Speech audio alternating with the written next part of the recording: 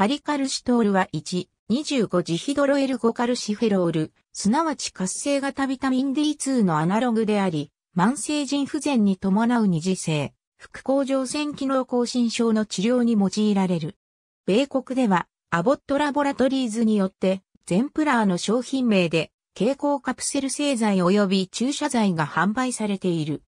パリカルシトールは、内因性活性型ビタミン D であるカルシトリオールの側管と A 管を化学修飾化学合成された化合物で生物学的な活性を持つビタミン D のアナログである。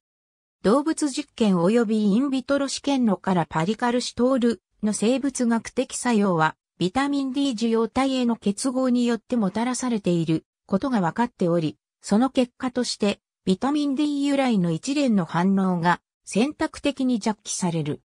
ビタミン D もパリカルシトールも副甲状腺ホルモンの生合成と分泌とを阻害することによって、血中の PTH 濃度を低下させることが示されている。パリカルシトールは既存のビタミン D アナログと化学構造が異なり、ビタミン D 受容体への選択性が高まっていると考えられている。したがって、既存のビタミン D アナログと比較して、高カルシウム血症を弱気しにくい性質があり、ATC 分類上も既存のビタミン D アナログが A11cc、ビタミン D 及びそのアナログに分類されているのと異なり H05BX、幸福甲状腺薬として分類されている。3つの第3小試験においてパリカルシトールを投与された SHPT 患者40例はプラセボ投与された患者38例と比較して4週間にわたって血清中インタクト PTH 濃度が30%以上の抑制の維持を達成した患者の数が優位に多かった。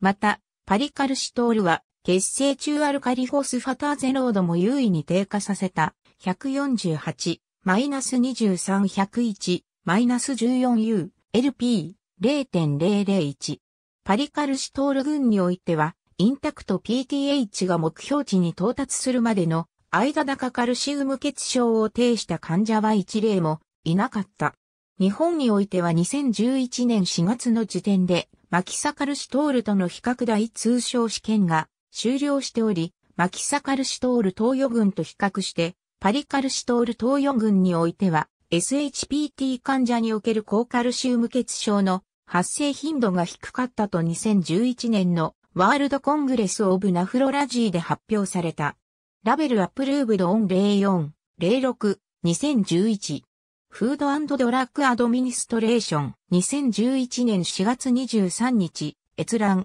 de Zeeuw D、 Agarwal R、 Amdahl M、 Audhya P、 Coyne D、 Garimella T、 Parving HH、Pritchett Y、 Remuzzi G、 Ritz E、 Andress D、 Selective Vitamin、D Receptor Activation with Paricalcitol、for Reduction of Albuminuria in Patients with Type 2、Diabetes、a、Randomized Controlled Trial。 Lancet 376、1543から51、 PMID 2105万5801、http コロンスラッシュスラッシュ www.ncbi.nlm.nih.gov スラッシュ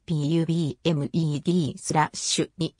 2105581ワック ATC トリプル D インデックスワールドヘルスオーガニゼーション2011年4月23日閲覧。 Martin キロジュール。 González EA、 Gellens M、 Hamm LL、 Abboud H、 Lindberg J、19 nor マイナス1アルファマイナス25 dihydroxyvitamin D2 safely、and effectively reduces the levels of intact、parathyroid hormone in patients on hemodialysis。J アムソックナフロル、9、1427から32、プミド969万7664、http コロンスラッシュスラッシュ www.ncbi.nlm.nih.gov スラッシュ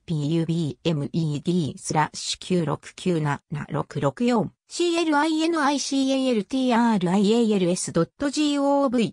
2011年4月23日閲覧サミナカーンランチシンポジウムプレゼンテーションクリニカル、アドバンセズアットザハートオブザカーディオ、リーナルシンドローム、VDR アクティベーションミネラルメタボリズム、ザインパクト SHPT スタディワールド、コングレスオブナフロラジー2011。ありがとうございます。